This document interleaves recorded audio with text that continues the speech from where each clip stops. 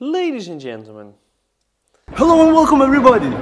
Today we are in tennis space, Kaunas, Lithuania, and me, Andy, and my partner, Paulius, we will show you how you should not be playing, and Sven will analyze and show you how to fix it. Vamos!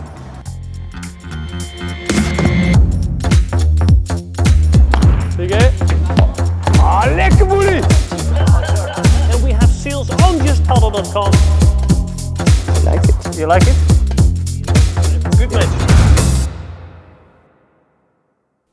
I watched uh, this match yesterday and I wanted to highlight the most important aspects of this match because uh, that will help you the most and I, I think it's going to be some topics that we discuss. Some of them are going to be the same, some of them are going to be different. And the first one is actually where to play the overhead shots. So the guys on the other side as well. Today we focus on the guy that sent in the video, uh, is in the red shirt.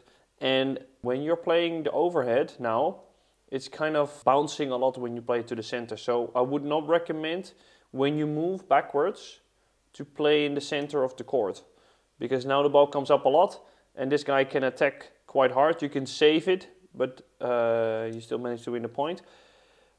But what I would recommend is when you have these overhead shots and you had a few of those that were very good, just put them in the corner and that's it. So for everybody that is watching, if you move backwards, would not recommend to play in the middle. Once you are very comfortable and you're you can play the ball very very low, then you would play the overhead shot in the center of the court.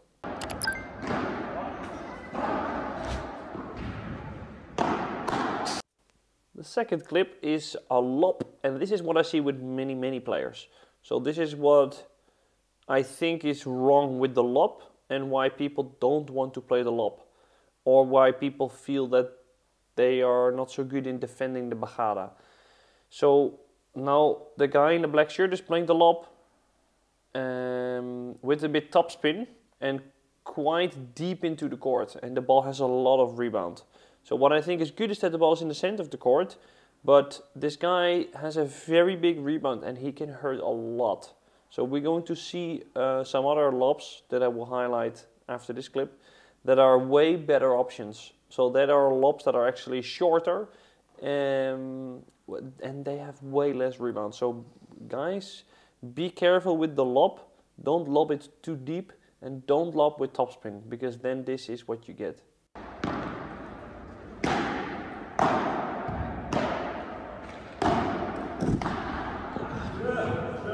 So so this clip for me is uh, how you should play padel. So he's playing the lob to the backhand. It's not even so high, but it's very uncomfortable to play the backhand from there. And then you come to the net and you win the point. So this is a this is padel. High backhand volley, you go in, boom, point. That's it. So the lob doesn't have to be always to to get to the net. It should sometimes be a little bit more uh, in a way of thinking like how can I make my opponent more uncomfortable. So for me, if you play against two right-handed players, there is I think 90% of your lob should go on the backhand of the player on the right. It's just it just works so well. Uh, you can win a lot of points with that.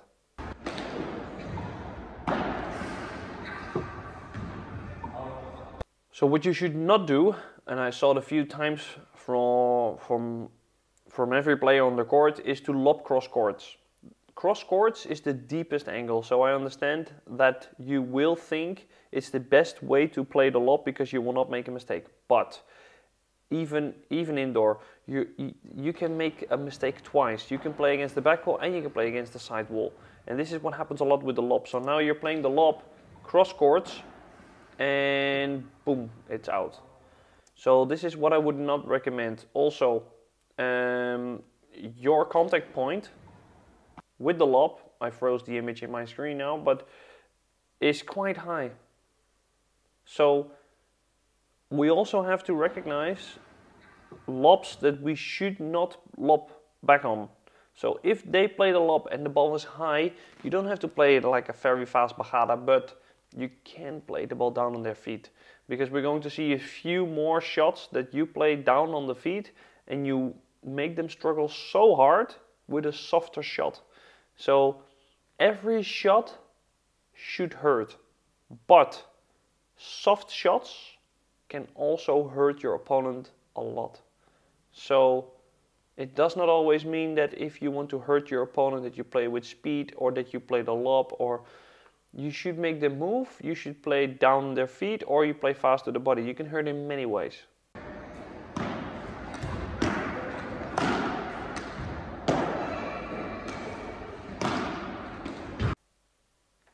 This clip is about coaching each other. So what I would recommend is that what I saw now is that you are watching your partner and then your partner misses crucial information where your opponents are positioned.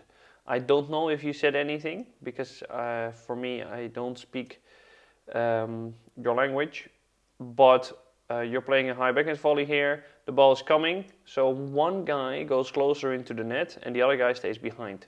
So if you are keep if you keep looking at the other side of the court, you can tell your partner left is in front or backhand in front or Peter is in front. Then you know he has to play to the other guy.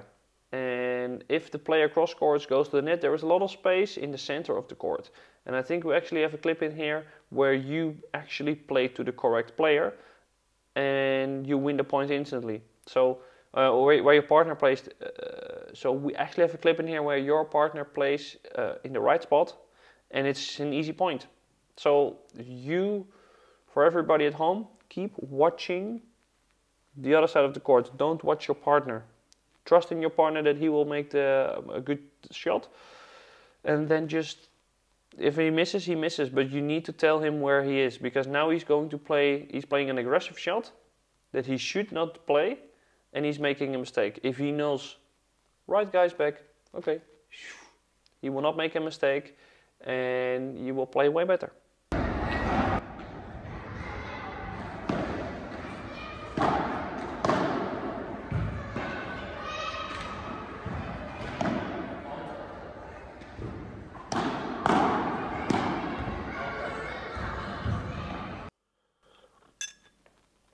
So now it's, it's again as a good lob. So this is the lob that you should play over the left shoulder of the player on the right. He cannot attack this ball because it's, it's there. And I think many players of this level, their forehand is way better than their backhand. Um, maybe, especially, nearly everybody on the court is slightly more in the forehand grip. So even though you just play to the backhand, they will never ever accelerate. Everything becomes easier if you play to their backhand, especially when they're at the net. So now this lob, I really like it. It's a little bit cross courts. It's uh, a little bit too low, so the ball, the bounce is a little bit much. So this is great if it was a little bit higher and a little bit shorter, but much better lob. This is about hurting your opponent. So should you play fast or should you play slow? So this guy just played a bandeja. He is around the service line and then you decided to play a faster shot. And you make a mistake, I think, for no reason because he's playing a shot that doesn't really hurt you and you want to play fast. Well, they are quite far from the net. So you actually hurt your opponent a little bit more if you play a softer shot. So for everybody at home, soft shots hurt more when they are far from the net and fast shots will hurt more when your opponents are very close to the net. this is a massive difference. So you should play fast if your opponents are close to the net. You should play slower when they're far.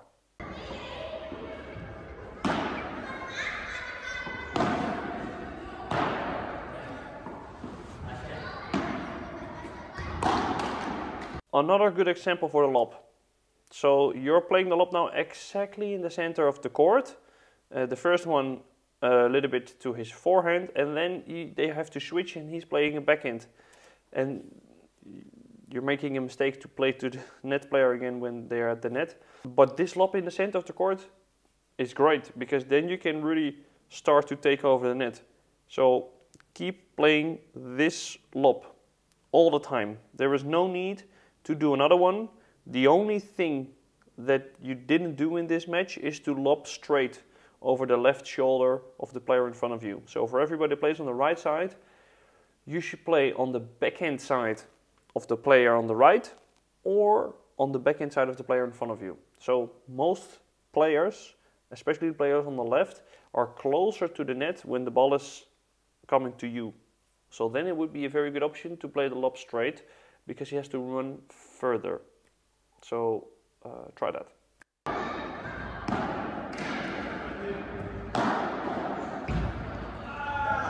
Yes, so this is great. So I, uh, with the sound on, I think you're telling him where this guy is positioned. I think you said middle, if I'm hearing it correctly. There's a big gap, boom, you won the point. So it can be as easy as this, and it gives a kind of purpose to the shot that you need to make. Um, and that, that's that's amazing because if he hears middle or uh, cross court in front or backhand in front, it gives a kind of confidence because he knows what he should do.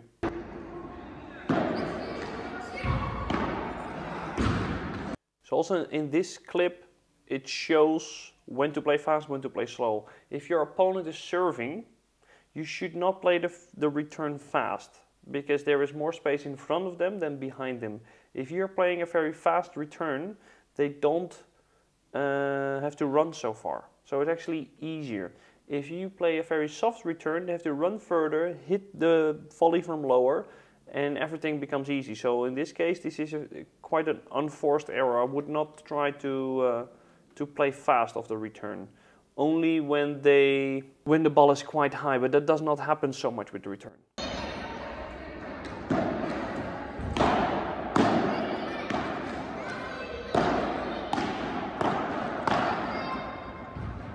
So now again, we have a very good example on where to play the lob. So now again, you're playing the lob on the backhand of the player on the right side. You take over the net, Chiquita kind of thing, boom, and you win the point instantly. There's, there are so much possibilities if you give them a high backhand volley like this, or to play a lob over the left, uh, or, or if you play a lob over the backhand side. So this, this works so well, and it's so easy to do. This is how a right side player should play. So for me, this is, if you can play with discipline in this structure, you're going to win a lot. So the only thing I would say is that you need to know a little bit more when you play soft and when you play slow on the right moments.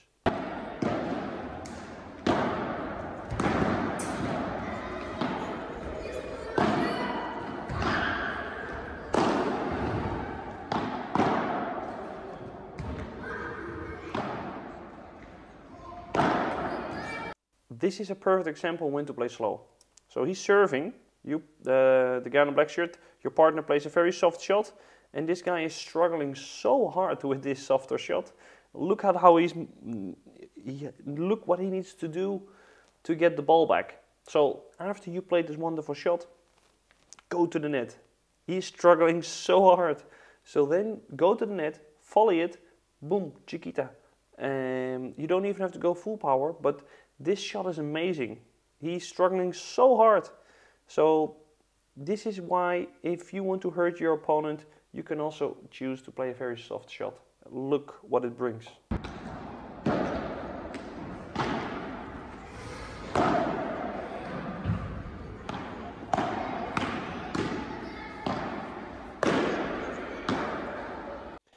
This is also, in my opinion, nearly amazing. Does it sound positive? Yeah. So he's playing the serve, you lob him, so he has to move back again. He needs to make three steps. Big rebound, you play soft on the feet and you go to the net to take over it. You need to go both of you. So now your partner is on holiday and this doesn't work well. Second thing, this Chiquita was amazing. So you did everything well, except you had to play to the same player again. So what you did well is this guy was serving, he's moving forward. You lob him, he's moving backwards. Then you get another shot, and then play on his feet again. Because then he has to run forwards, then backwards, then forwards, and then backwards again. Then you have him. And you need to say to your partner that if I have the ball here, we go to the net. Or make a, say a number one, and then you know, boom, okay, we're to play Chiquita. And the guy in front of you was closer to the net. He was uh, working. He was there. So his partner is struggling. This guy is focused. He didn't do anything. So play again. Uh, play to the same attacker again. So we. I always explain play to the same defender. Yes, but also play to the same attacker because this guy needs to run his ass off. That works way better.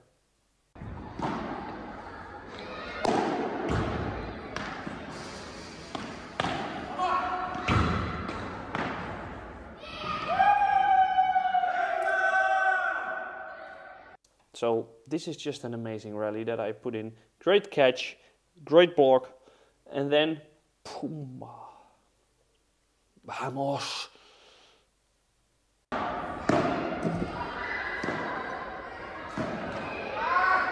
So this is another great example of playing softer shots. So the ball's coming back, soft on the feet. He needs to let the ball bounce, he make a mistake. If you play some soft shots now and then, you're gonna get easy wins. You're gonna get free points. It's it works well. It works so well.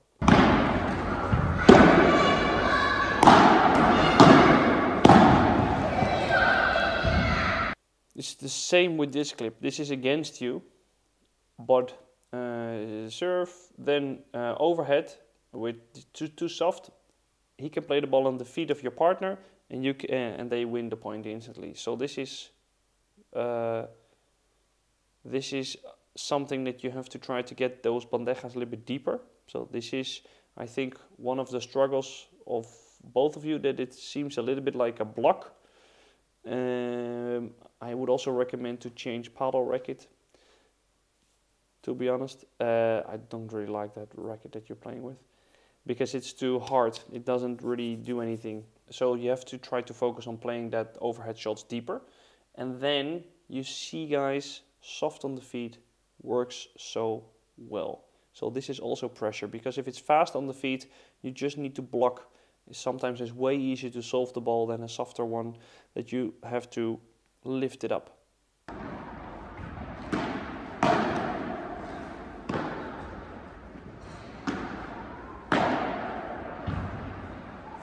This is another one which is great because in this ready you really out you outplay these guys. You outplay these guys.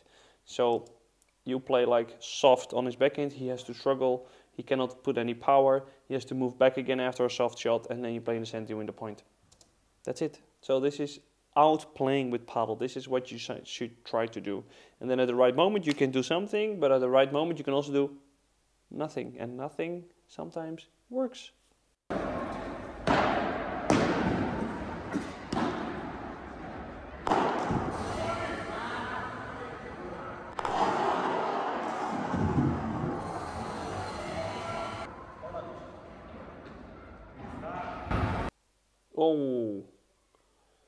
Yeah, what I would recommend is instead of letting the ball come to your face, is to try to, to block it because you're not allowed to uh, head the ball over the net.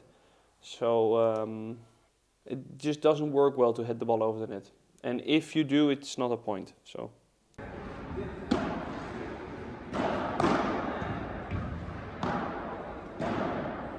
So for the last clip, we're gonna end in a very negative note.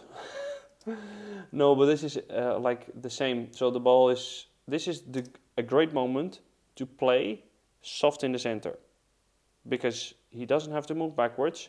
It's just that the bounce um, is a little bit deep.